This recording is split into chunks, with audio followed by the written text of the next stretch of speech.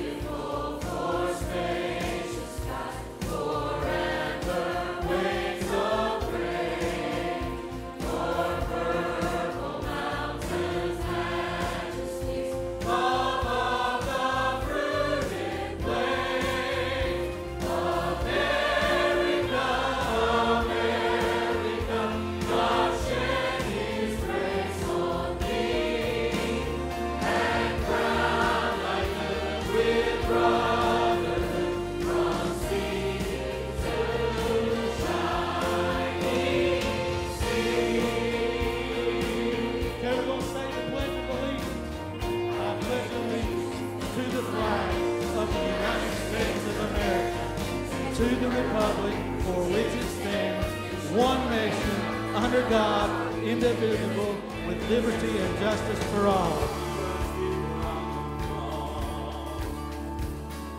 Here's what I tell everyone.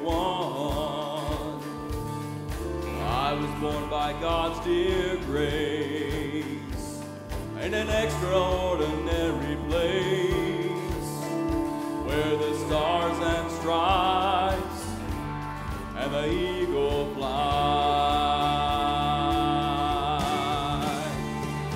big old land with countless dreams and happiness isn't out of reach. Hard work pays off the way it should. Yeah, I've seen enough to know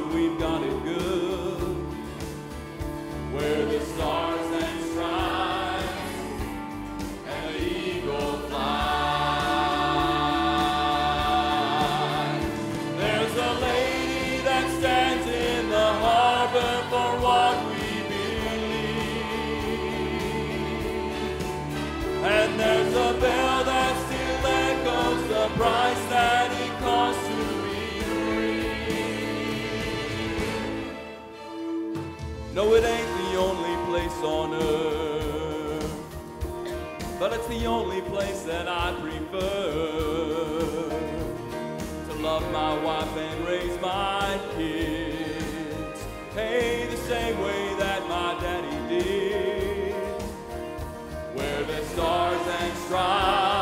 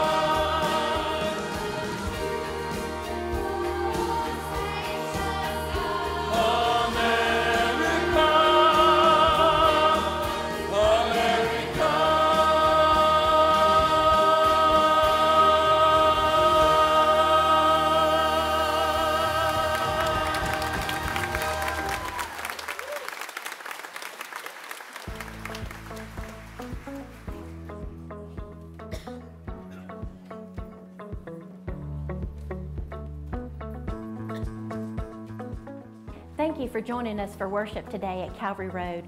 We are so glad you are here. If you are a first time visitor, we would like to say a special welcome to you. In a few moments, our ushers will stand and we ask that you raise your hand so that we can give you a visitor's card. Please take time to fill it out and after the service, exit into the lobby and go to our new Welcome Center where we have a gift for you. Our team members would love to meet you, answer any questions that you may have about Calvary Road, and just simply love on you. Please leave your visitor's card with them and make your way to the fireplace as our pastors would love to meet you. Again, we just want to say welcome. Attention ladies, we will begin a Women's Summer Bible Study Monday, July the 1st at 7 p.m. at the Haywood Baptist Association office. The title of the study is Seamless Understanding the Bible as One Complete Story. It is a seven session study that covers people, places, and promises of the Bible, tying them together into the greater story of Scripture. Please join Amy Borscht and Liza Hines as they lead us through the study. Sign up at the Welcome Center today. Church, we are having an outreach opportunity coming up in August. The Women's Ministry is sponsoring a Stuff the Bus drive to provide back to school essentials for children in need in Haywood County. Please help us get started by bringing in backpacks and stuff the bus located at the main entrance near the Welcome Center. There will be more information to follow about this community outreach event. All right, good morning, church. I just want to let everyone know that if you ordered a shirt for our fundraiser with Operation Christmas Child, they'll be in the lobby this morning. Also, thank you for everybody that came out and participated in our ice cream social. We raised over $685 for Operation Christmas Child. We will be doing another ice cream social on July 17th for all who would like to participate. We will be having a baptismal service Sunday, July the 14th. If you would like to follow up in believer's baptism, please call our church office to be placed on the list. Good morning. I'm Laura Early, the facilitator for the Missions and Bible Study Group called BYW. I just want to take a moment and tell you who BYW is and what we do. BYW meets monthly throughout the entire year on the second Friday night of the month at 6:30. We meet at different ladies' homes each month. During these meetings, we fellowship with each other while enjoying food, Bible study, and making plans for mission projects in our area. We're called Baptist Young Women, but we have always believed we're available to women of all ages. Currently, we're in a study by Priscilla Shirer called Fervent. We're learning how to pray fervently for each other, our church, and for our individual needs. If you're looking for a group to get involved in, we're more than happy to have you join us. Check the bulletin for information about our group, see me, or find us on Facebook at Calvary Road Baptist Church, Baptist Young Women. Get involved today. Nursery is available for children up to two years of age. If you exit the main sanctuary doors, the nursery will be just to the left. If you have children ages 2 to 4, we have a We Worship program. There will be a point during the service that we will announce that it is time for We Worship. Workers will be holding up We Worship signs. Parents, please follow them to the We Worship room to drop your children off. Also, if you would like to assist in our nursery, there's a sign up available at the nursery. If you have any questions, please see Connie Cooper.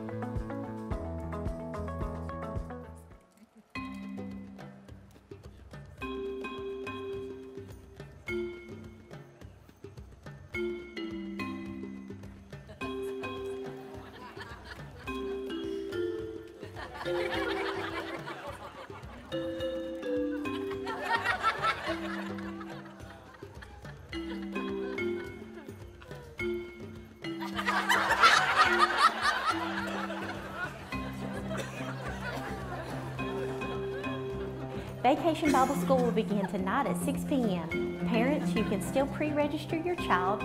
Just see the ladies in the lobby after the service, use our mobile app, or go to our web page. We are looking forward to an exciting time of worship, deeper dive into God's Word, and fellowship. Be sure to be in prayer for our children and workers this week. It just, yeah. It just keeps getting better, doesn't it? Uh, we are excited about today. We're certainly glad that you're here. Um, we're looking forward to a great time of worship this morning. And uh, we're excited about uh, Brother Tim Lee being with us to bring the message. And uh, we've certainly been praying for this moment this morning as he'll come in just a little bit and bring the word to us. And uh, we're just delighted that you're here. If you're visiting with us for the very first time this morning, if you wouldn't care just to raise your hand, our ushers have some information they'd like to get into your hands. You can take your time filling that out. And then uh, as the offering plate comes through, uh, you can drop it in that, or you can take it out to uh, the fireplace area. There is a little bit of a difference this morning. We have uh, Brother Tim's table set up out there, and he'll share a little bit about that in a little while. Uh, but we'll be out there. If you'd like to speak to us, you can certainly bring those cards out there to us at the conclusion of this morning's service. And so I know our, our ushers are busy handing those cards out. Calvary Road, can we give a hand to all of our visitors this morning?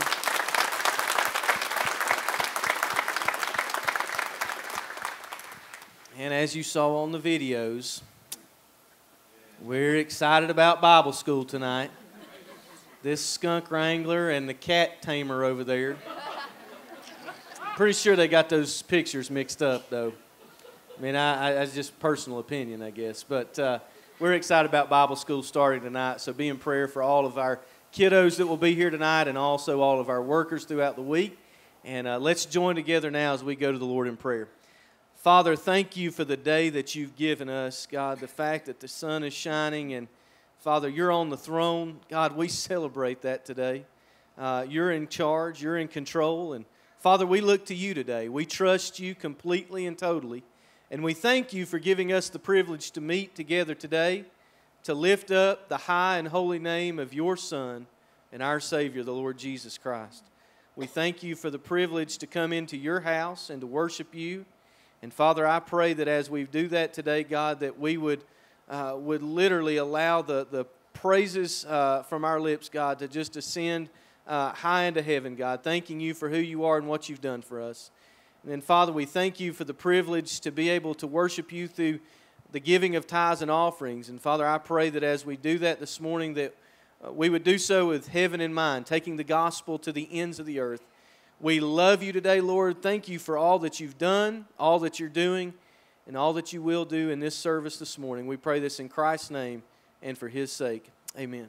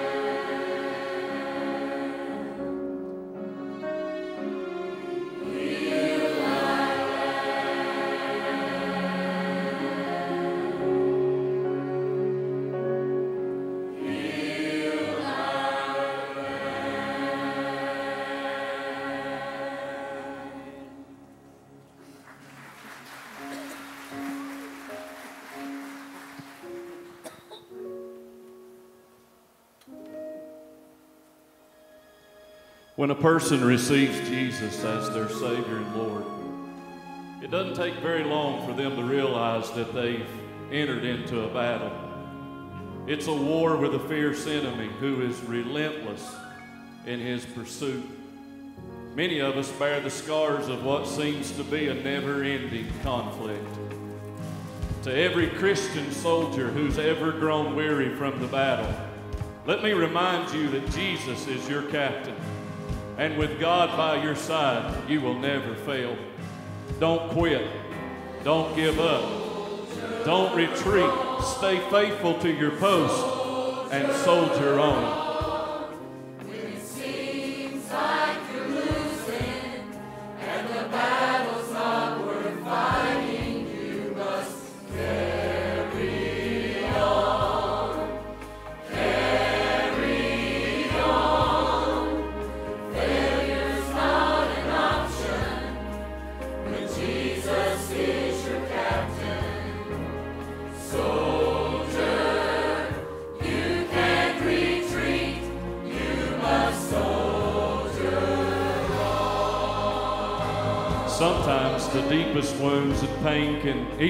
From those that we love and trust the most.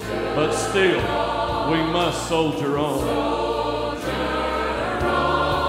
Someone you trusted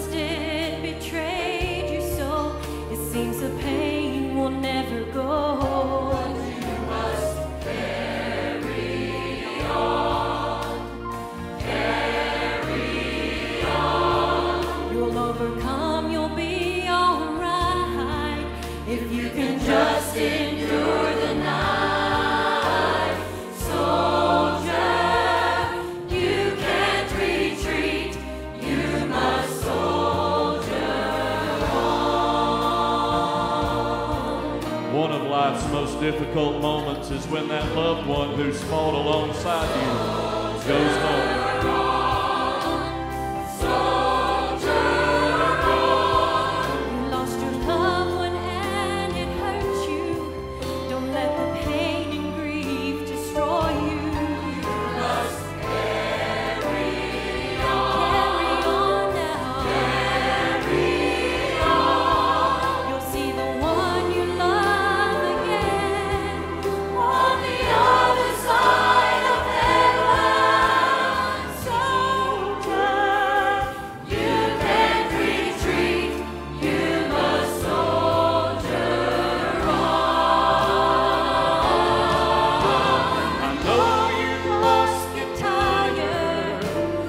Oh.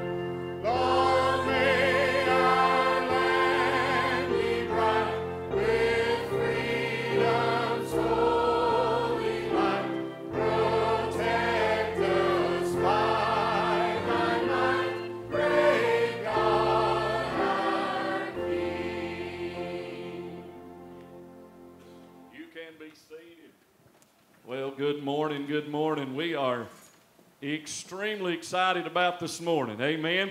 And I can tell you got the word out. I can tell you invited people. Good to see the house packed this morning. This has kind of been one of those weeks that uh, I can honestly say I am absolutely uh, honored during this whole week to be able to stand next to and with families who have fought so valiantly for this country. And uh, we lost a great one this week, and Al Leatherwood, he's home with Jesus today. And I see Miss Darlene back there. We love you.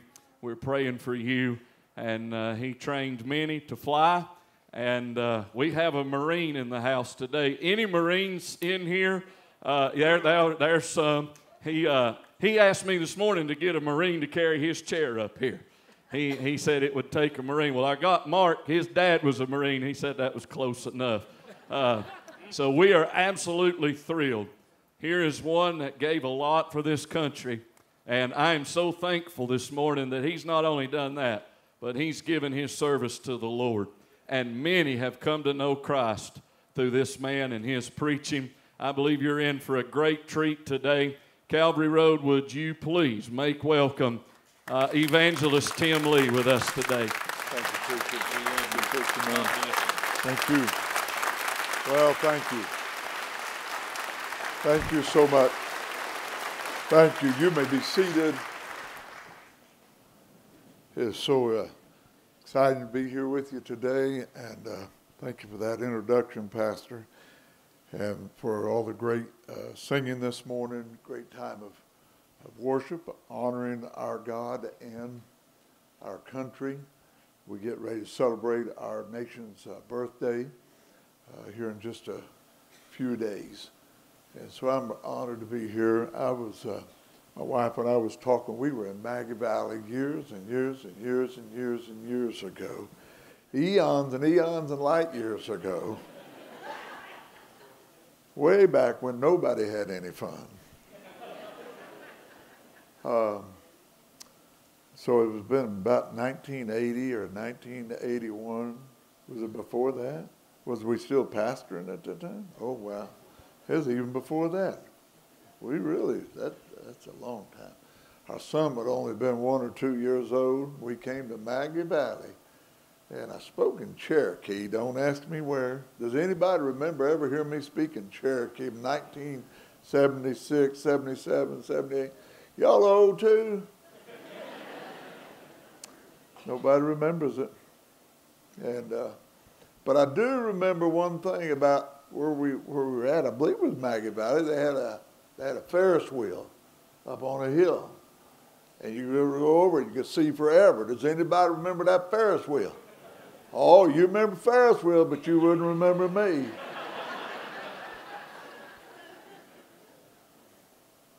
I'm just teasing, of course, but that was a long time ago, and we're honored to be back here today. My wife is with me. Connie, would you stand up and turn around, let the folks meet you? This is my wife, Connie, and. Uh,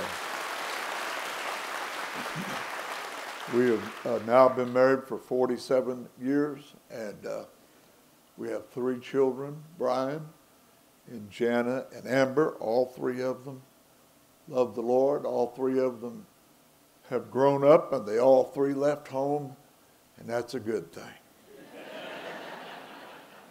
Somebody said the American dream is to own your own home. I said the American dream is to get your kids out of your home. Some of you know what I'm talking about. Our good friend Rick from uh, Trinity Baptist in Asheville sitting down here. Raise your hand, Brother Rick.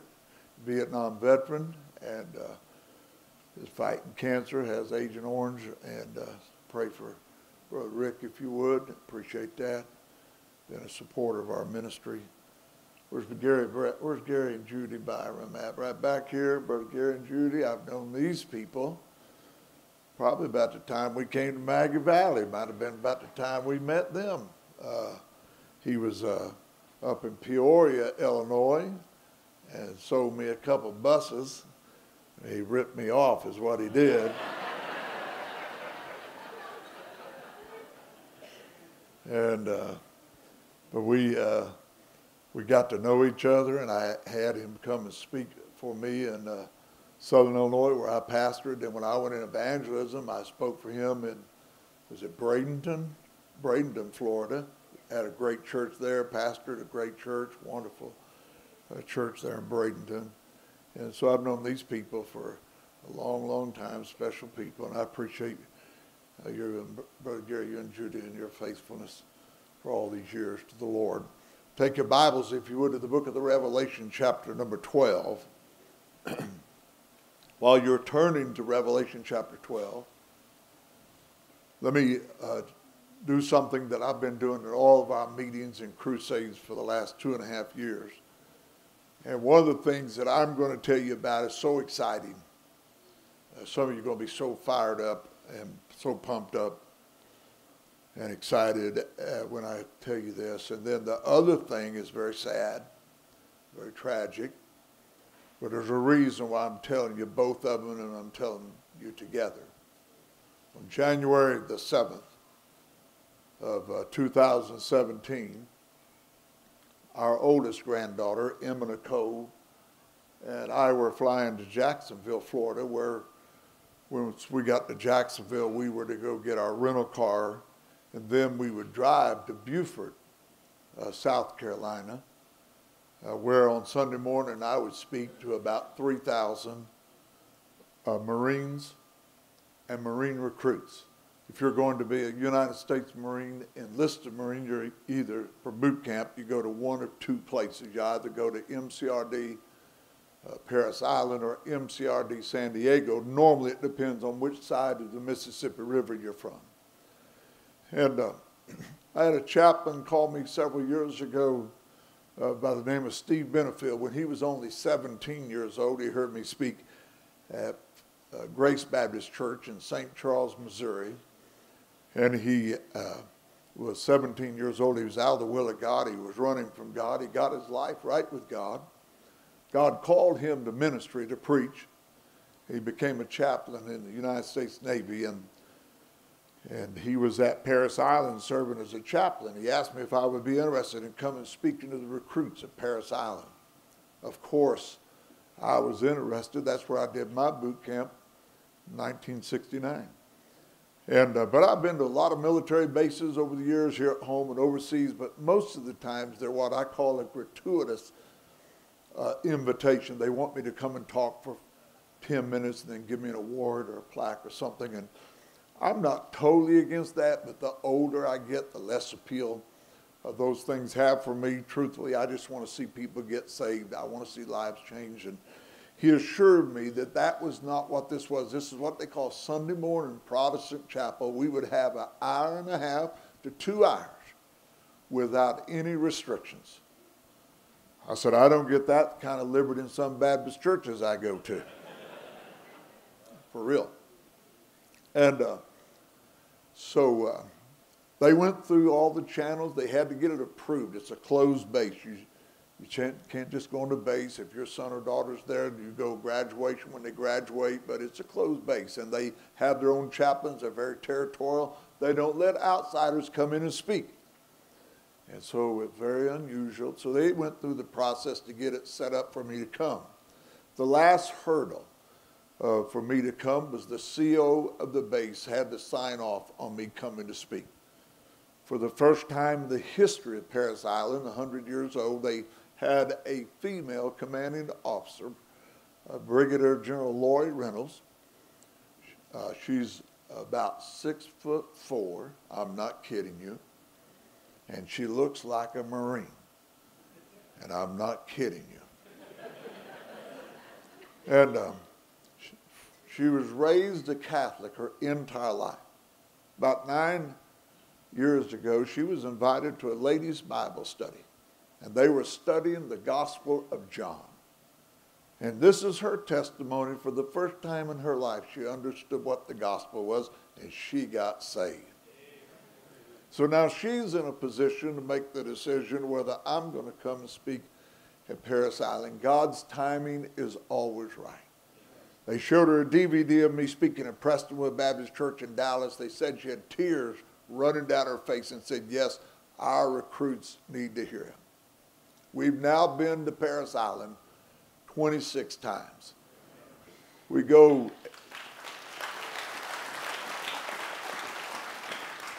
You haven't heard the good part yet. We go every 12 to 13 weeks. Every time we go, it's a brand new recruit class. We were there in May. We will be back in August. When we are there in August, no one will be there that was there in May. Our low numbers will be around 2,000. A high number would have been probably 4,500. We average about 3,000, 3,200. We bring in a worship team from Jacksonville, Florida. Trinity Baptist Church runs about 22, 2300. And they don't send the backup players and the backup singers, they send their best. Mark Ivy, one of the great worship leaders of our day, comes and they lead in worship and praise for 45 to 50 minutes. And I want to tell you something, it's the most unbelievable thing. My wife would tell you, I just sit there and cry. You hear 3,000 Marine recruits singing God's Not Dead, it'll put goosebumps on top of your goosebumps. And they sing from their heart. And then I get up and give my story, and then I give a clear, concise presentation of the gospel of Jesus Christ. And then I give a public invitation for people to come to Christ. I told them I did, I'm an evangelist. If you have me come to your church, that's what I do. I give an invitation. The last thing God did in this book was give an invitation. And the last, and so I told them, I said, I can't see coming and doing all this stuff if we don't give them an opportunity to respond. And they assured me that we could. We do. Some of you are not going to believe what I'm about to tell you. I get a little weary about numbers myself sometimes because we hear the exaggeration and people blow them out of proportion. Somebody asked me the other day, said, You believe God's interested in numbers? I said, Well, I guess He is. He wrote a whole book in the Bible called Numbers. But in 26 events that we've now done at Parris Island, and three events that we've done at MCRD San Diego, we've seen conservatively, there are Several chaplains would tell you the number's a lot higher than what I'm about to tell you, but conservatively, over 27,000 Marines and Marine recruits get out of their seats and come and give their hearts to Jesus Christ. They come with brokenness, they come with tears, they come with conviction. When we were there in May, when I had them go back to the seat, it's a concrete floor. Ladies and gentlemen, I'm not exaggerating. There was wet spots all over, all over that floor. Not just a handful, not just a few, all over. The people weeping their way to Jesus. Brokenness and conviction. We'll be back, we'll be back two more times this year. We'll be back five more times next year. Way the year is laid out. We'll be back four more times in 21 and four more times in 22, and they're telling me that I can do it as long as we want to do it. It's a God thing. How in the world can we do something like this in a day when everything seems to be upside down? Good is called evil, and evil is called good. ACLU and Christians being attacked on all sides. No one is made to come and hear me. It's all voluntarily. There no one's required. The only other option they have is to stay in squad bay with a drill instructor. so they've kind of got that figured out. When Em and I landed in Jacksonville on January 7, 2017, we turned on our phone before we got to the gate and they began to light up. We soon got the tragic news that Emma's two younger sisters, Allie, who was 16, Sarah Beth, who was 13 at the time, had been a horrible ATV accident.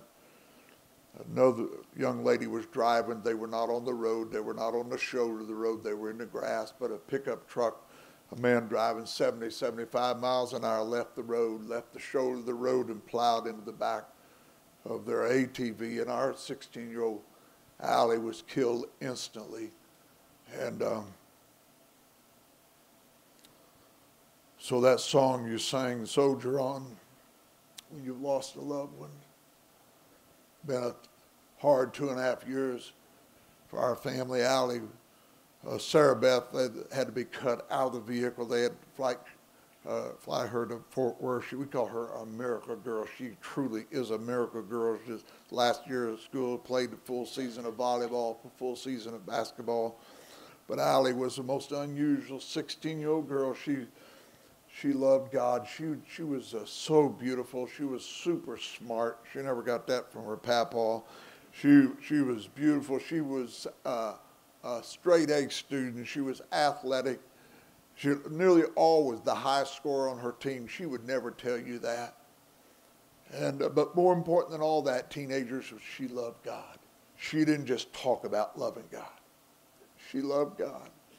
She was a soul winner. She would witness to people. She'd talk to people about Jesus. She loved people. She hated bullies. She'd stand up for those that nobody else would stand up for.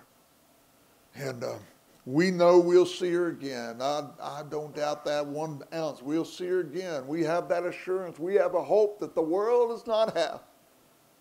But we still miss her. And it still hurts. If you're a mom and dad or a grandma and grandpa and you've lost a son or daughter, grandson or granddaughter, you know and you understand. So please pray for those two things. Pray for our marine events. It's so important. There's nothing else like it going on in our country with our, with our military anywhere at all to this degree. Nothing. It's a God thing. Only God could put it together. And then pray for our family.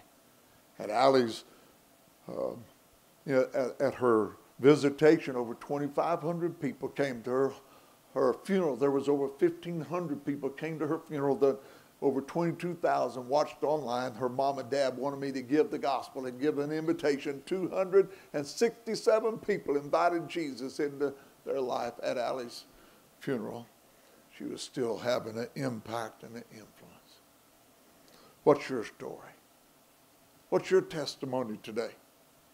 When you go out to the cemetery and you see the headstone, there's enough information. We know something about the person that's buried in that spot. We know their name. And then maybe there's something about their military career, maybe their family, it may be a favorite Bible verse. But then there's always the dates. There's the date that the person was born, there's the date that the person died. Ladies and gentlemen, young people, more important than the two dates, in between the dates is a little dash and it's what's on your dash. That's your story.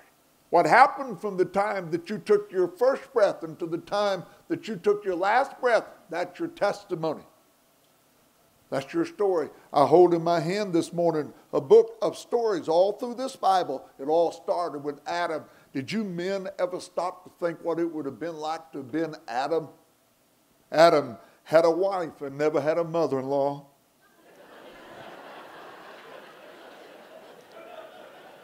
That's a story.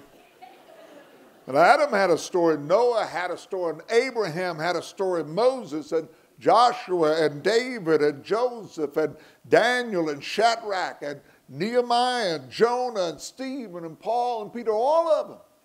Matter of fact, there's a whole chapter in the book of, of Hebrews we oftentimes refer to as the faith chapter. And there's one man after the other listed in that chapter because of their faith story, their faith testimony.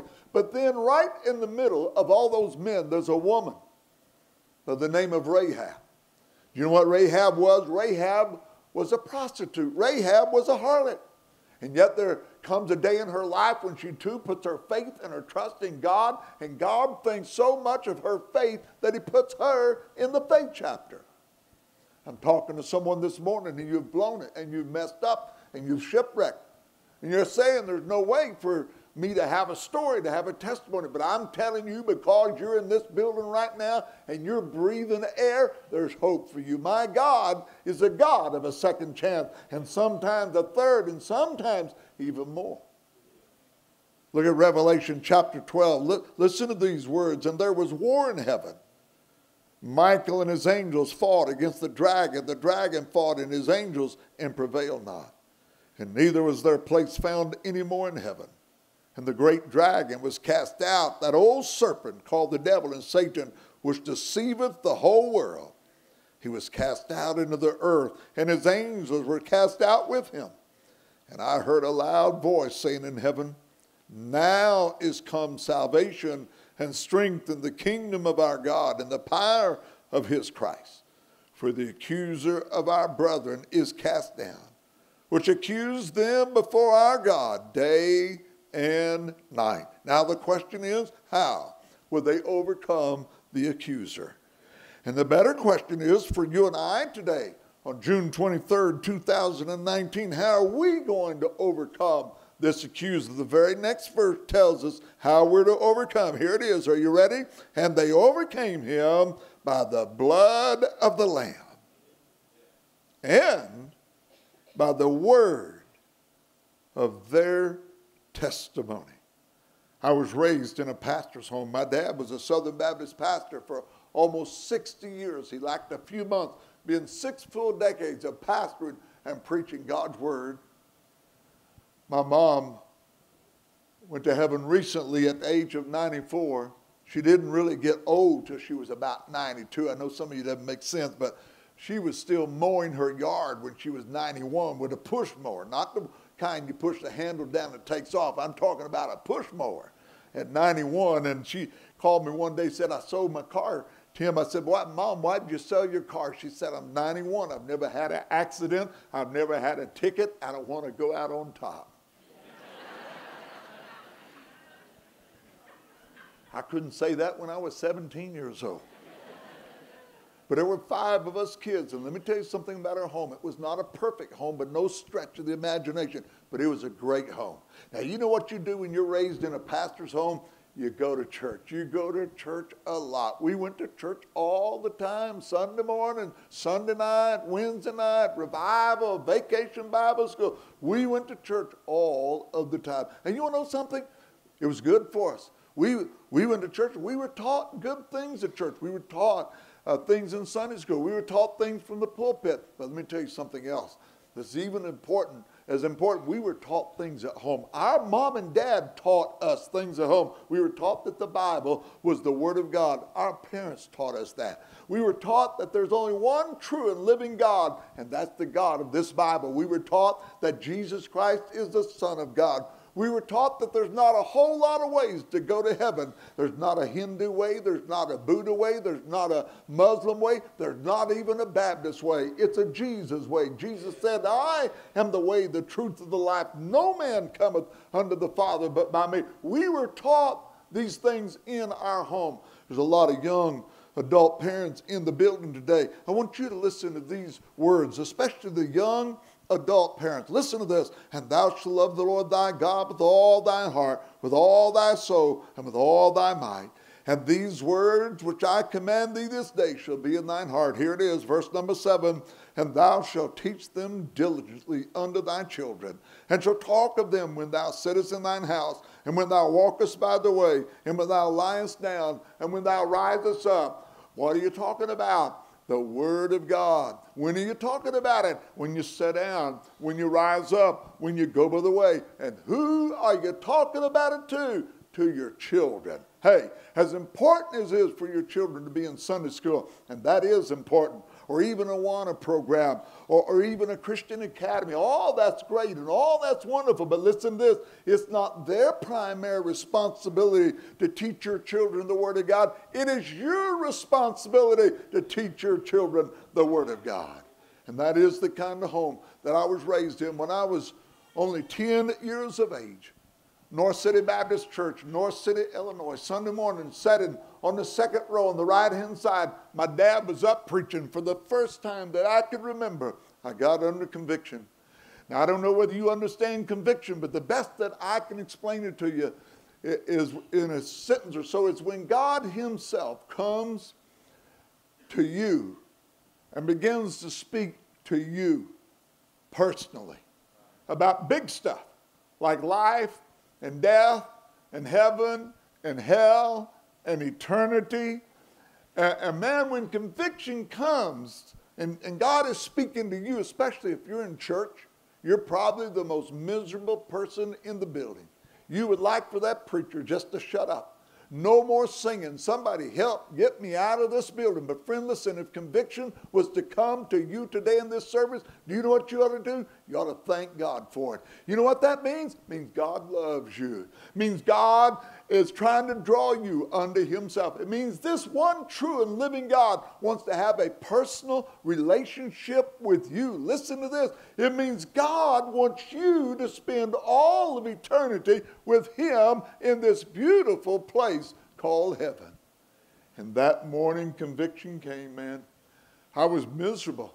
When the invitation started, I was even more miserable. All I could see was hell. And somebody said, Well, you shouldn't get saved just to stay out of hell. Maybe not, but that's not a bad reason to get saved. And I left my seat that morning during the invitation, knelt to the altar. My mom came and knelt beside me as a 10 year old boy. I repented of my sins, received Jesus Christ as my Savior, and I got born into the family of God. And I'm here to tell you today, ladies and gentlemen, young people, that is the greatest and most important thing that has ever happened in my life.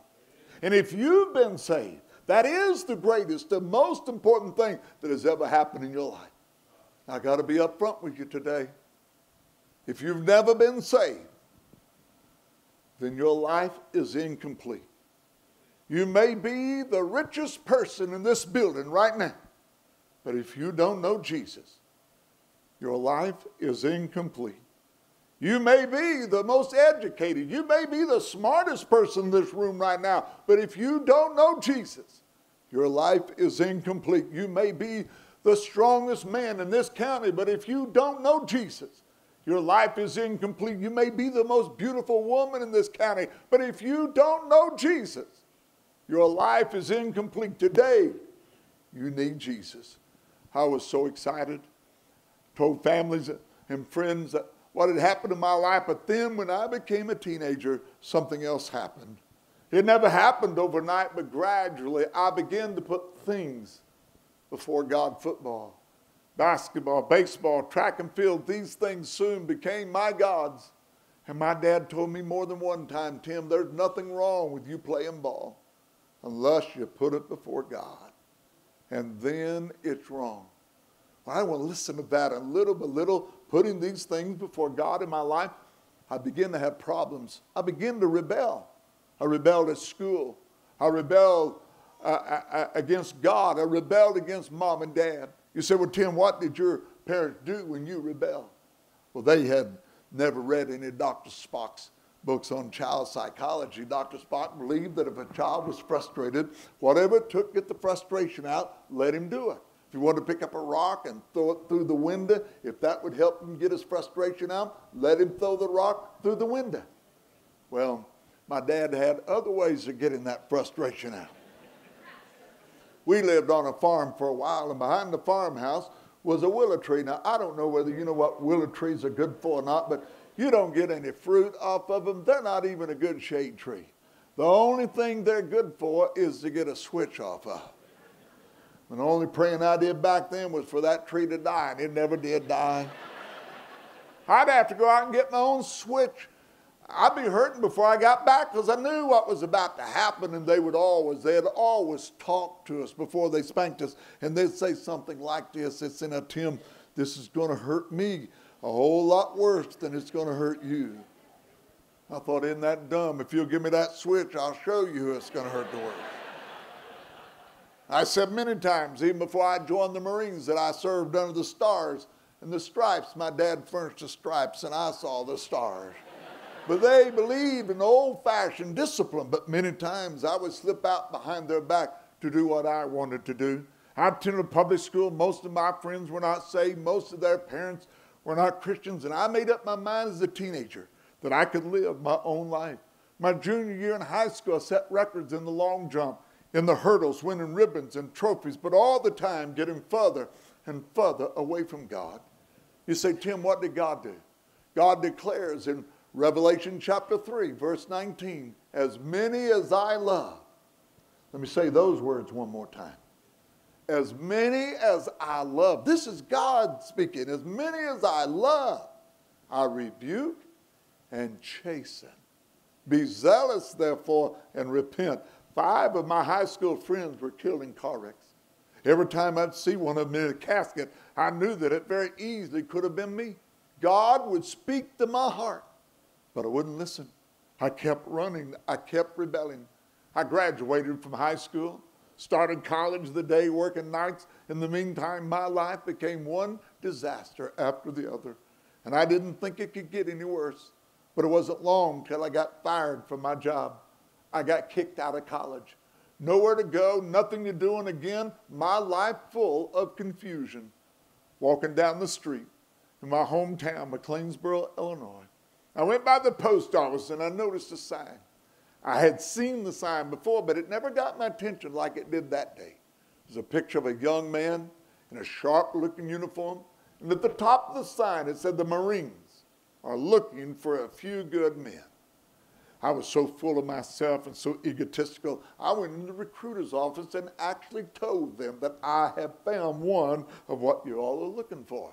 Now, young people, to be real frank with you, I was tired of living at home. I wanted to change. I wanted something different.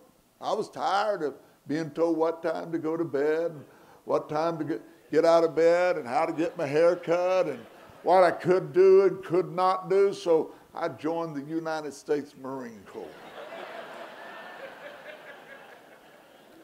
It wasn't the most intelligent thing I ever did. They put me on a Greyhound bus, sent me to Parris Island, South Carolina. I got off and stepped those yellow footprints. I met the guy they called drill instructor. Man, I was there less than 24 hours when I decided I didn't like him and he didn't like me. But you know the real reason why I didn't like him? He was in authority, and I didn't like authority.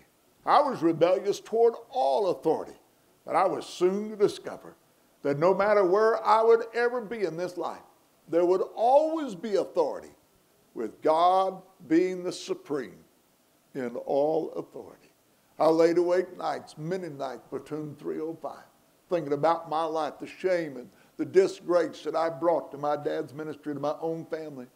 My attitude began to change in boot camp. The Marines had some things to help it change. I graduated from boot camp with a meritorious promotion, private to private first class. Went to ITR, then to engineering school at Camp Lejeune, graduated with another meritorious promotion, private first class to Lance Corporal. And then I received my orders that I was to go to South Vietnam. I had three weeks leave. I went home to Illinois and spent those three weeks with mom and dad. On Sunday, before I was to leave on Monday, I went to church with my parents, and in the service that morning, I thought that I'd made things right with God. And on Monday, mom and dad drove me to St. Louis, and I got on that plane that no more got off the runway. I told God that I couldn't do it. Those men were Marines. I was afraid they'd laugh at me. I was afraid they'd make fun of me went to Vietnam, was there for nine months.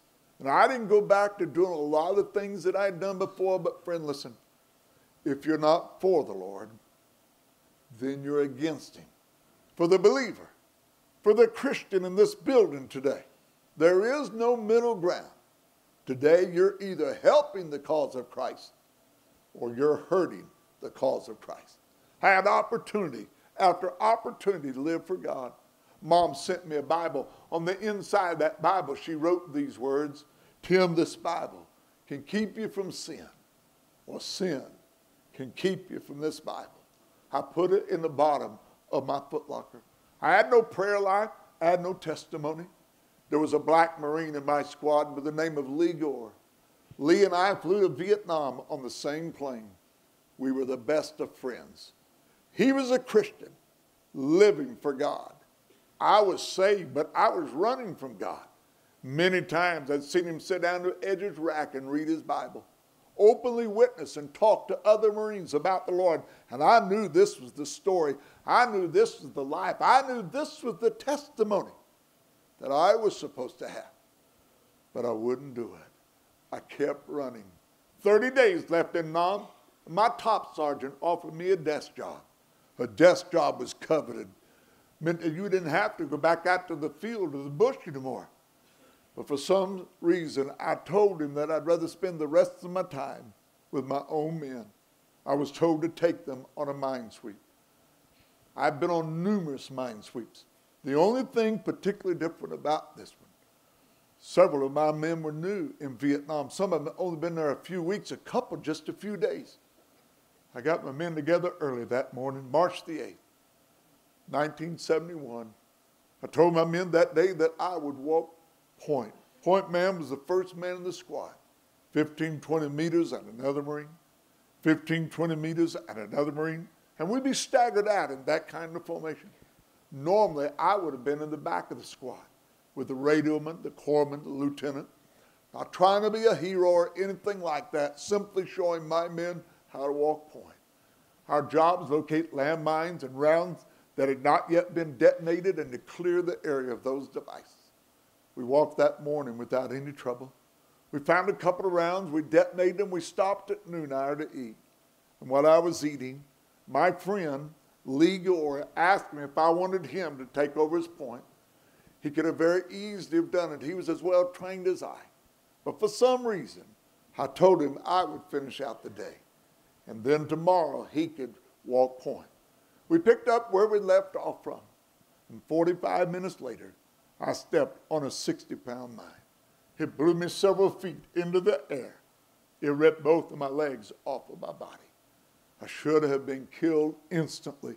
It was a big enough mine to destroy a Jeep. We had entered a major minefield. At the exact moment that I stepped on a mine, a South Korean Marine that was serving with us stepped on a mine as well, lost one of his legs. Our bulldozer driver set his blade down on a mine. And now there's noise and smoke and chaos and confusion, and I'm in extreme pain. I was only unconscious for a couple of moments. I realized that I had been hit. I didn't know how serious it was, but I looked up in the midst of all that chaos and confusion, in the midst of my pain, my head was laying in the lap of Corporal Lee Gore. Lee wasn't cussing the president or the communists or the Vietnamese or no one else, but rather with tears streaming down his face openly out loud, praying and asking God to help me. And I can remember today as though it happened five minutes ago. Nam province, a little after 1.30 in the afternoon, I looked up that day and I made God a promise. It was something like these simple words God, if you'll let me live, get back home to mom and dad, I'll do with my life what you want me to do. Well, I'd made so many promises to God on so many other occasions, but I never meant it like I meant it that day. They came with a medevac chopper, carried me to the hospital ship, the USS Sanctuary. Second day I was on that ship, two naval doctors gave up hope. Infection had set in, high degree temperature, so many complications. Dr. Robert Bailey was one of those two doctors. He and I were reunited in Garland, Texas. He told the congregation of about a thousand that evening that they did not expect me to live because of the seriousness of my wounds. But God had a plan for my life. I lay on the hospital ship for two weeks, unconscious most of the time. They took me to the island of Guam, to the Naval Hospital where I spent the next two weeks. unconscious most of that time. I weighed 187 pounds before I was hit. The island of Guam, I weighed a little less than 80 pounds. During that first four week period, mom and dad received visits from the Marines, the Red Cross, and numerous telegrams and from all that they had been told. They never expected to see the oldest son alive again. But God had a plan for my life. I was speaking in Dayton, Ohio, Faith Baptist Church several years ago. Earl Lewis came to that crusade. Earl was the fifth man back on the mine sweep that day. He'd only been in Nam for six weeks. He told Connie and I that it looked like someone had taken a five gallon bucket of red paint and just poured it all over me. He said, Not a one of my men thought that I would live. In that crusade, Earl gave his heart to Jesus Christ and now is a faithful member of that church. God had a plan for my life. In Danville, Virginia, Ray Birchie came to hear me. Ray was the radio man on the mine sweep that day. He told my family, my, was with me in Danville that day, he told my family that when they put me on the medevac chopper to go to the hospital ship, which is only a 20 minute flight, that not a one of my men expected me to be alive by the time we reached the ship. But God had a plan for my life. A year and a half ago, Ray came to hear me a second time in Warren, Ohio. In the second service, when the invitation was given, he was the first out of into the aisle and came that morning and gave his heart to Jesus Christ. God had a plan for my life. They brought me back to the States, to the Philadelphia Naval Hospital, where I spent the next eight months, eight long months, 13 major operations. When the doctors were through and all the surgeries were over, I had three inches remaining on my right leg, 11 inches on my left, but no other part of my body was hurt. And some today would tell us that it was nothing more than an accident. But I remind you, friend, that with God, there are no accidents. God was not asleep on March the 8th, 1971. You see, as a 10 year old boy, I said yes to Jesus. But as a teenager, I decided that I could live my own life, and I made a choice, a deliberate choice to run. And I ran and ran and ran until March the 8th, 1971, when the running was over. I went home from the hospital to my dad's church in southern Illinois. I went forward and publicly made things right. It was in that church that I met Connie. We fell in love with each other and were soon married. It wasn't long after we were married that God called me to preach. Friends and even relatives tried to discourage me. They said, Be so hard, so difficult in a wheelchair. But I said, If that's what God wants me to do, that's what I'll do.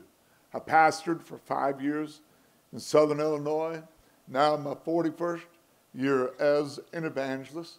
I've had the privilege to speak in every state, with exception of North Dakota. I don't even think anybody lives up there anymore. And, and many, many foreign countries preaching God's word. And I'm going to tell you now, like I've said so many times, the past 48 plus years of my life have absolutely been the happiest years of my life. You said, but Tim, you're in a wheelchair. Your legs are gone. You told us about Allie. Yes, but the difference this morning is that I'm in the will of God.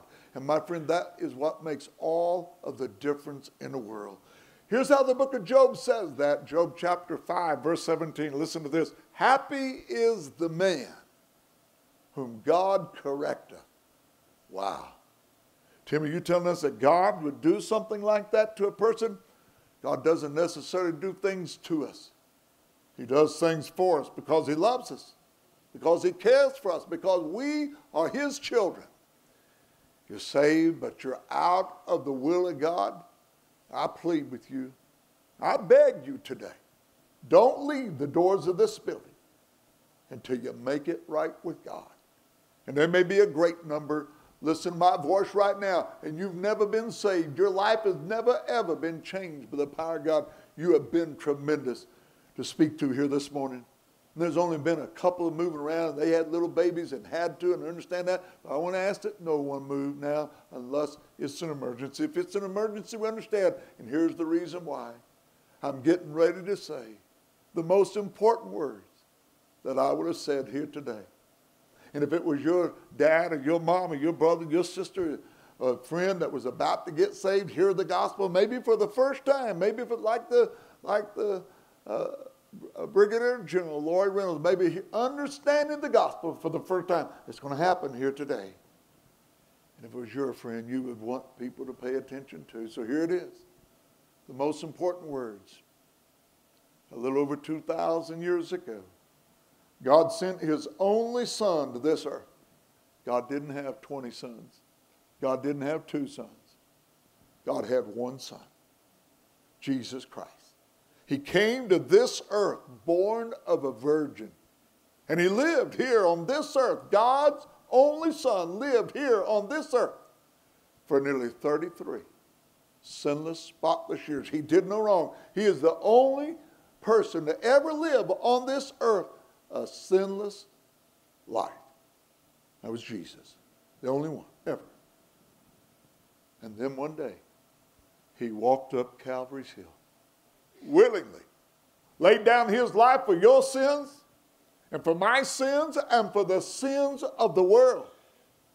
He hung on a cross suspended between heaven and earth. And on that cross, he shed his blood. And on that cross, he died. God's only son died.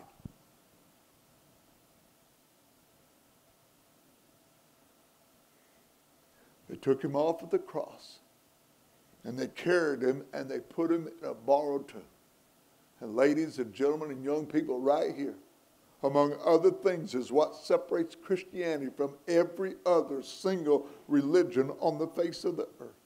For if you were to go to the place where they put the body of Jesus, you wouldn't find him. He's not there. On the third day, he got up from the grave, victorious over sin, victorious over death, victorious over hell. And today, God's Son is alive. That's the good news. This is the great news. He wants to come and live in your life. You say, Tim, how, how does that happen? How does God's Son come and live in my life? You come to this place. Now, I'm not talking about the geographical location of Maggie Valley, North Carolina. I'm not talking about this building here at Calvary Road. I'm talking about this moment. This moment and time and place in your life right now. To understand that in the sight of this holy God that you're a sinner. The Bible says so. The Bible says we've all sinned and come short of God's glory. I've sinned. Pastor John has sinned. We've all sinned. Every one of us are sinners. And it's our sin that separates us from God. It's our sin that keeps us from having a right relationship with God. And it is our sin that would separate us from God for all eternity in a horrible place called hell, except for the fact that a price was paid for our sins. God, only Son, paid the price. God loved you so much that He gave His Son to die for your sins to die for my sins. Ladies and gentlemen, it would not have been enough for him just to have died. A lot of great religious leaders have lived and died and died martyr's death. But see, Jesus didn't stay dead. He arose from the grave three days later. And today, if you're willing to repent of your sin, if you're willing to turn from your sin and turn to Jesus, the very moment that you, by faith, say yes to Jesus, you become God's child forever. What are you saying yes to? You're saying yes to the cross, to the blood that was shed for the death of God's only Son, and then you're saying yes to that empty tomb. Friend, listen to me. I'm not talking about being a Baptist. This wonderful, precious Baptist pastor sitting here would be the first person in this room to tell you today that joining a Baptist church will not take you to heaven. It's not about being a Baptist or a Methodist or Lutheran or Church of Christ, Assembly of God, a Catholic, a Mormon, any other religion, any other denomination. It's about a personal relationship with Jesus. And you can leave here today with that relationship. Wouldn't you like to know that when you die, you would spend eternity with God forever? You say, Well, Tim, I'm not planning on dying anytime soon. And I don't imagine any of us are planning it. But I tell people all the time you don't have to go to heaven, and you don't have to go to hell. but you can't stay here. You're going to spend eternity in heaven or in hell. And it all depends upon what you do with Jesus. Today could be the greatest day of your life. Would you bow your heads? I'm going to ask that no one move, no counselors, no pastors, no personal workers. The only ones that are moving are the ones that's going to come and sing and play. For our invitation, if you would move very quietly and very reverently, I want you to bow your heads and just draw an imaginary circle around yourself in your mind. No one to the right, no one to the left, just you and me and God. I'm going to ask you something today, and friend, no one's going to embarrass you. Don't, don't play just yet. Hold on just a moment, please. I'll give you instruction in a moment when to play. Our heads are bowed. I want everyone to hear this very carefully. Nobody's going to intimidate you. No one's going to embarrass you. But I want you to be honest. Don't raise your hand because you've always raised it. Don't raise your hand because someone around you raises theirs. How many in this room today would say, Tim, I know beyond a shadow of a doubt, if I were to die in the next four minutes in this seat where I'm at, if EMT was to come in this room and officially pronounce me dead, I know I would go to heaven. Tim, I remember the day when conviction came to my life.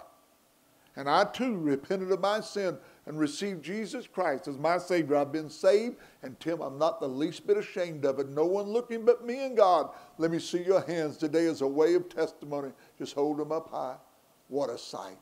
What a beautiful sight. Hundreds and hundreds, hundreds of hands. You can take them down. Christian friend, don't ever be ashamed or embarrassed for a preacher to ask you that question and for you to give testimony. There were some today. Matter of fact, there were several today who could not raise their hands. And I want to tell you today that I appreciate you being honest. You could have put your hand up and others raised theirs, but you didn't do that. And in just a moment, I want you to let me pray for you. But before I do that, how many of those of you that just now raised your hand would say, Tim, I know I'm saved. I know I'm a Christian. But I also know there's some things in my own life that are not right with God. There's some things in my own life the Lord is not pleased with. And Tim, God spoke to me today. I don't want to run. I don't want to rebel. Pray for me that I can have these things right between me and God. Let me see your hands today. Hold them up high. Scores and scores and scores and scores of hands. You can take them down. I'm going to give the invitation today that I give somewhere across America nearly every Sunday of the year. Last Sunday in Georgia, maybe 6,000, sometimes 10 or 12,000, sometimes 150 or less. In a moment, listen to this, in a moment, we're going to sing one verse of invitation. We might sing two, but that will be all. And I'm going to ask every one of you that just now raised your hand, if you were serious, if you were not playing games with God, that when we sing, not yet, today, today will be different than you're used to. That's why sometimes we have evangelists come. It's not that they do it better, sometimes they just do it a little different. We shake things up a little bit. So, in a moment, when we sing, I'm going to ask all of you that just now raised your hand to leave your seat, go to the nearest aisle, and then I want you to come and stand in front of me here today. Many times we kneel. But today I'm going to ask you to cooperate with me and come and stand in front of me, facing me. We're going to pray together. God is going to do something in your life. If you're afraid to come yourself, ask someone to come with you. If someone is in your way, then you nudge them. They'll move over. They may be wanting to come as well. But today is your day to get things right between you and God. Hey, I wonder if there are those today would say, Tim, I've been saved, but I've not been baptized since I was saved.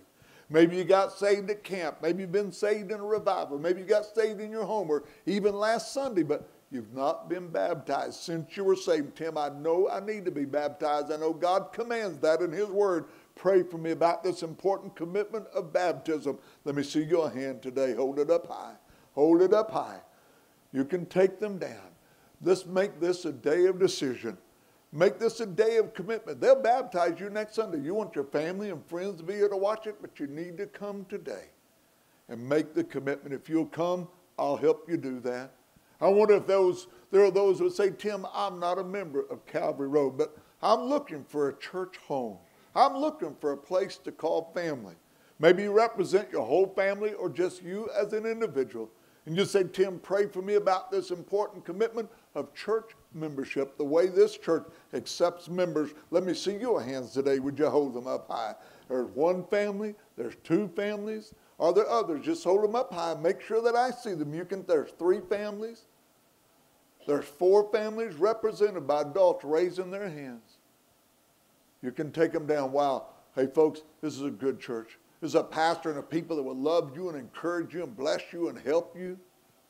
And it'll be a church that you'll be a blessing to. And every week you be, wait to become a part of this exciting fellowship is a week you could have been, been doing what God wanted you to do right here. Let's make this a day of decision. When we sing in a moment, if you'll come and stand here, I'll help you to make that decision as well. Now, while our heads are bowed, the most important question where will you spend eternity? Friend, listen to me. Again, no one's going to embarrass you. No one's going to intimidate you at all. But do you care enough about yourself and where you're going to spend eternity to let this evangelist pray for you here today? There's nobody looking but me and God. I'm going to ask no one in the choir, no one on the platform, no one in the back, just me and God.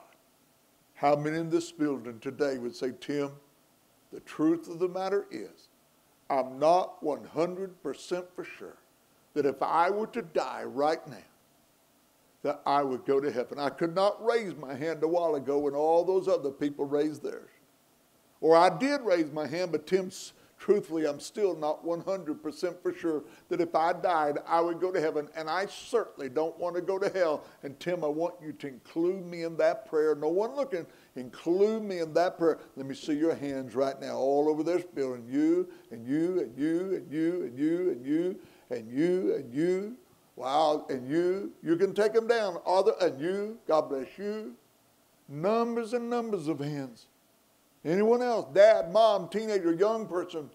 Tim, include me in that prayer too. Are there others? If you raised your hand once, you don't need to do it again. Are there others? Make sure I see it, and then you can take it back down. Those of you that raised your hand, listen to me. This could be the greatest day of your life. There's going to be a lot of people coming and standing here. Christians, I'm asking you to set the example counselors, personal workers, pastors, when the people come, I want you to come and stand here with them.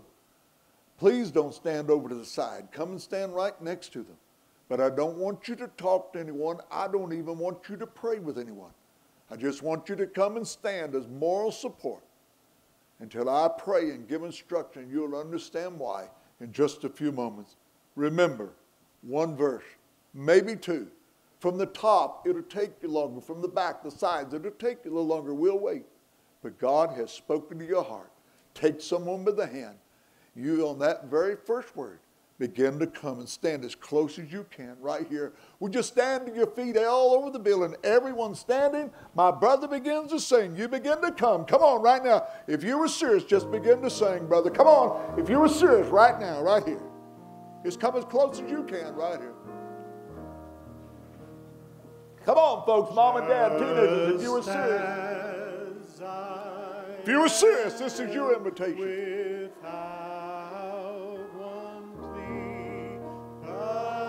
Come on, dad. Come on, mom. Come on, teenager, young person. Just come in as close as you can. Make room for these others that are coming. Come on, folks. Come on down front here. Oh, Lamb of God, I come. Folks, come on in a little closer if you will. Numbers and numbers and numbers of others are coming. This is your invitation. One more verse. Is all we're singing. This is it. Come on. God's speaking to your heart. God's dealing with your life. There were numbers of hands raised earlier. Step out of that seat and say, I'm going to go with God. I don't care what the world says. I don't care what my friends think. I'm going to go with God. There's another one coming, and another one coming, and another one coming. And others are coming, and another one is coming. This is your day. This is your invitation. Come on, Dad. Come on, Mom. Come on, young adult, teenager. Oh, Lamb of God, I come. Our heads are bowed and Christians are praying.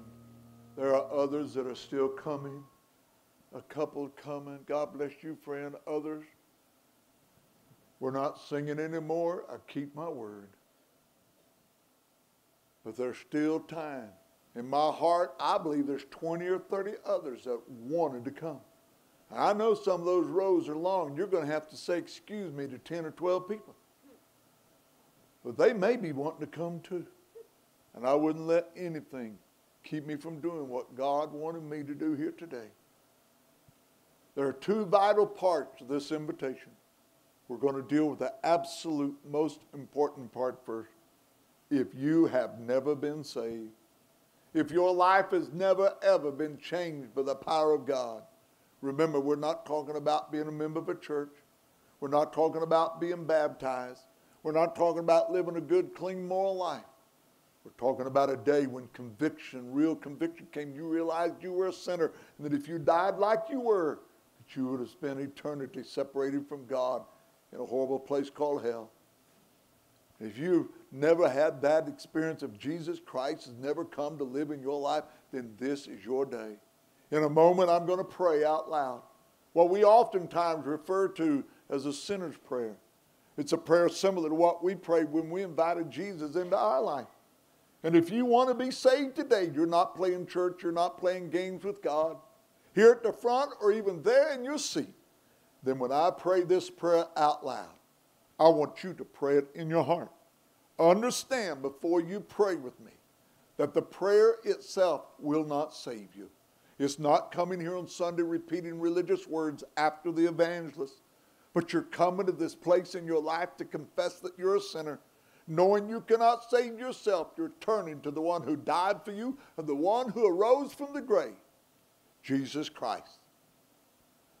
And so today, when I pray this prayer out loud, if you want to be saved and you're serious, then I want you to pray the prayer after me. It doesn't have to be these exact words, but something like this and mean it with your whole heart as best you know how. Dear God, I know I'm a sinner, and I know my sins can separate me from you forever. But today, I want to be saved. God, please forgive me of all my sin. Wash me as white as snow. Make me your child. Right now, this very moment, I am trusting Jesus Christ and Him alone as my Lord and my Savior. Take me to heaven when I die, for I am now your child. Our heads are still bowed. No one's looking but myself, the pastors, and the Lord. That's all. If you just now prayed that prayer in your heart, here at the front or there in your seat, if you prayed that prayer today and you meant it with your whole heart, as best you know, Tim, when you prayed that prayer out loud, I prayed it today in my heart as well. No one else looking. Tim, I prayed that prayer. Let me see your hands. Hold them up high. Hold them up high. Hold them up high. Hold them up high. Don't take them down. There's one. There's two. There's three. There's four. keep them up, please. There's five. There's six. There's seven. Keep them up. Don't take them down. There's eight. There's nine. There's ten. There's 11. Don't take them down. There's 12. Keep them up for another moment. There's 13. Keep them up for just one more moment. Just one more moment. Wow. You can take them down. Church, if you're rejoicing in 13 adults and young people saying yes to Jesus today, would you give them a great big hand and tell them you're happy for them? Woo! I, I don't want I don't want anybody else to look, just those 13, nobody else, just those 13 look right up here at me. Right over here, there's this bunch right over here, several back through here, right back through here, right back through here, right back there, up in the balcony there, and right over here and over here. Now, I can't keep looking at you, but I want all 13 of you to keep looking right up here at me. That is the most important prayer you will ever pray in your entire life. On Sunday, June the 23rd, at exactly 12 noon, I'm going by my watch, you said yes to Jesus Christ. I want you to remember that. On June the 23rd, 2019 at 12 noon. What did you say yes to? You said yes to the cross and you said yes to that empty tomb. And when you by faith said yes to Jesus, you became God's child forever. You got to hear what I'm about to tell you. Every sin that you've ever committed in your life is gone. God doesn't just forgive us our sins, He forgets them. They're washed away. Uh, wait a minute, wait a minute, wait a minute. How do we overcome the accuser? By the blood of the Lamb. Your sins are washed away by the blood of the Lamb. And listen to this now, all 13 of you have a story. All 13 of you have a testimony. If you live 24 hours or 24 years or more, you're going to get to put some good stuff on your dash. You're going to get to put some good stuff and, and have a testimony. And here's what I want you to do. And I've asked literally thousands and thousands, tens of thousands of people to do what I'm going to ask you to do right now. When you get back to your seat in a moment, I want you to find a piece of paper. It really doesn't even matter what kind of paper it is, I don't care. But big enough paper to write your name and your address and your phone number and an email if you have an email. And then I want you to write one word saved. S A V E D. I love that word. For the Bible says, Whosoever shall call upon the name of the Lord shall be saved. We're, pastor's going to come in a few moments and receive an offering for our ministry, and then I'm going to come and make a brief announcement, and then I'm going to go out by the fireplace by our table. I want all 13 of you to bring that piece of paper to me. Pastors, if we have any free literature that we would normally give people when they say yes to Christ, if somebody will have that back there by the time I get to the table, it'll help me, and we'll give it to these folks. But I want all 13 of you to do that. Is this important Tim? It's vital. Why? Because it's the only way we know who you are, how to pray for you and encourage you and to help you get started in your Christian life. You can bow your heads back down. The invitation's not quite over. If you raise your hand today about baptism or church membership and you want to make that commitment of baptism or church membership, hold your hand up today. Make sure I see it. I want to give you instructions. Baptism right here. Are the others? Church membership, baptism. All right, I want you folks to do the same thing. You can take a hand. Find a piece of paper, name, address, phone. I'm going to make sure Pastor John gets these papers, but let's just keep continuity, everything going the same direction. Bring it back to the table. Just write baptism, church membership with all that other information and bring it back to me. I'll rejoice with you as well. Now, there's one other part of this invitation that's very important. I know what's going on. You know, and I've, I've been preaching evangelism for a long time, and it gets 12 noon. Some people think that's a magical number. Man, the Methodists are going to beat us to the cafeteria, and we're not going to have any food left, but we're not any of us starving. And so, this, is as far as I'm concerned, the most important thing going on in the state of North Carolina right now. There are a whole lot of people today who said, I know I'm saved, but there's things in my life that are not right with God. I've seen grown men at this altar today with tears and grown women broken before God. And they're going to get to leave here today singing victory in Jesus, knowing everything's right between them and God. Friend, here's the deal. If you're saved but you're not right with God, this is the day, this is the time. And here's how you do that. The Bible says that if we will confess our sins, that He, God, is faithful to forgive us our sins. Isn't that a great deal? We confess, and God forgives. But there's no playing church. There's no playing games. You don't pray one of these broad general prayers, Lord, if I've sinned. It's not that, John. Lord, I have sinned. And I've come to confess my sin. I want to leave here right with God. Father, thank you for speaking to hearts. Thank you for at least 13 today who said yes to Jesus. Their lives will never, ever be the same. And then, Lord, for those these that said they want to become a part of this church by baptism, church membership. And then, Lord, for a ton of people today who said, I just want to be right with God. Lord, I pray you would restore the joy, give back the victory, and even start a revival fire burning in their heart and in their life. May this be a day they begin to say, I'm going to live for Jesus. I'm going to have a story. I'm going to have a testimony. I'm going to make my life count for God the rest of the days of my life. So, Lord, I want to thank you for what you've done.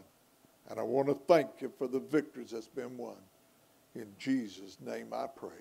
And amen. Would you give these folks a big hand? Let them make their way back to their seat this morning.